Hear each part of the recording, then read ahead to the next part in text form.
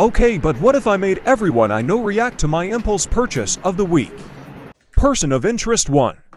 My best friends. 83 year old grandmother. Me, look up. Her, so beautiful. Her, I can see the moon and stars. Me, I can turn the stars off.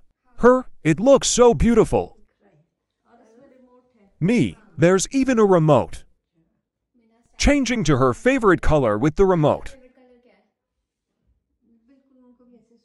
Her reaction. She then stared at it in peace forever.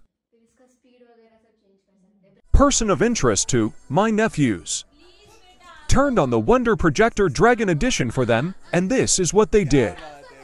Typical.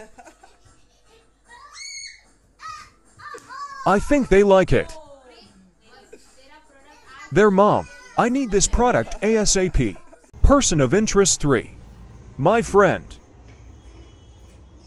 It's like I don't even know her anymore. Oh, hello there. Person of interest 4. My cousins. They all wanted to do a photo shoot with it. Looks sick, not gonna lie. Honorable person of interest, my friend's cat. Do you think she likes it?